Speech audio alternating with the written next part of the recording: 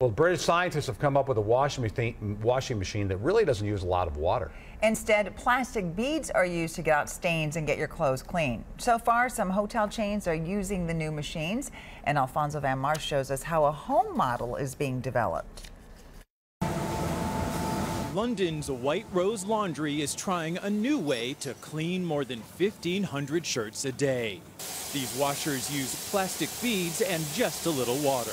Within the first week, we knew that the water saving was more than 60 to 70 percent. Xeros machine makers say that's about 350,000 gallons of water saved each year.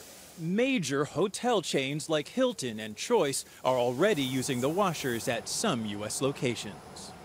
The British scientists who developed the technology say a small amount of water helps the beads gently rub against the clothes and act like sponges to absorb dirt. Physicist Steve Jenkins says machines use about half the detergent and energy as traditional washers. We can clean as effectively as a hot cycle at cold. One and a half million of these beads spin through every machine. They're about the size of a grain of rice, but they're hard, like a marble.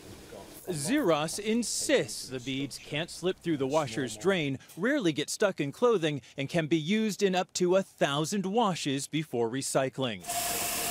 Engineers are working on a washer dryer model for American homes they hope to sell within two years.